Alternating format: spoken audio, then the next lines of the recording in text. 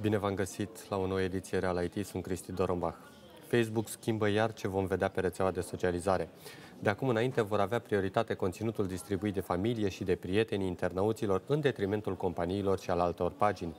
Drept urmare, ar trebui să nu mai vedem în rețeaua de socializare atât de multe filmulețe cu animale și filmulețe cu rețete de gătit distribuite de pagini, la fel ca și aceste filmulețe virale. În schimb, ar trebui să vedem mai multe păreri și comentarii ale prietenilor noștri, dar și conținutul distribuit de aceștia. Paginile nu-și vor pierde complet audiența, spun cei de la Facebook, dar vor pune mai mult accent pe postările și persoanele care au like-uri și comentarii. Astfel încât pentru a avea cât mai multe aprecieri pe Facebook, va trebui să strângem cât mai multe opinii la postările noastre și ca prietenii să împărtășească cu alții ceea ce postăm pe rețeaua de socializare. Hackerii pot accesa informațiile din grupurile de discuții ale aplicației WhatsApp. Conform experților, oricine reușește să dobândească controlul asupra serverelor folosite de WhatsApp se poate adăuga într-un grup de discuții fără a fi necesară aprobarea administratorului acestui grup.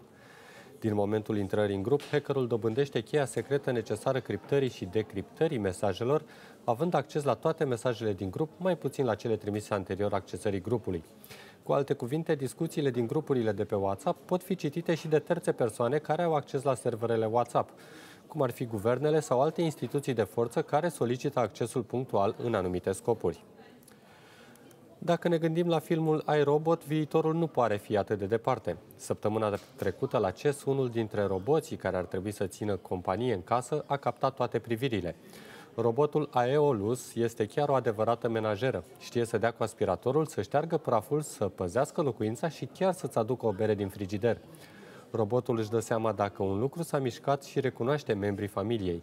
Ar urma să fie disponibil la sfârșitul anului, iar dezvoltatorii n-au precizat prețul, dar spun că va costa cam cât o excursie în străinătate pentru o familie. Și tot de la CES, Intel vrea ca flota sa de drone să înlocuiască artificiile tradiționale. Un exemplu în susținerea acestei afirmații a oferit uh, la CES atunci când dronele lor au dansat împreună cu fântânile arteziene din fața hotelului Bellagio din Las Vegas. Acolo 250 de drone programate au luminat cerul împreună.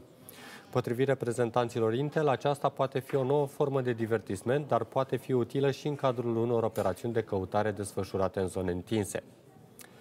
Mai multe știri din tehnologie găsiți în fiecare zi pe publica.md, iar noi ne revedem curând.